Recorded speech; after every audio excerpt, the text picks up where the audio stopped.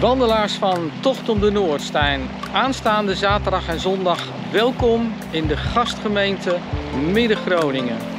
Ik sta hier vlak voor het Kielzog, het huis hier, het centrum van cultuur en bestuur.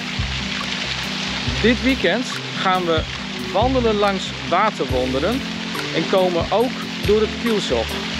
De eerste dag door het theater en de tweede dag door de bibliotheek. De eerste dag gaan we in zuidelijke richting. Gaan we naar Borgencompagnie. En de tweede dag in noordelijke richting, richting het Schildmeer en het Knippelpad. Wandelaars van Tocht om de Noord gaan dit weekend Midden-Groningen ontdekken.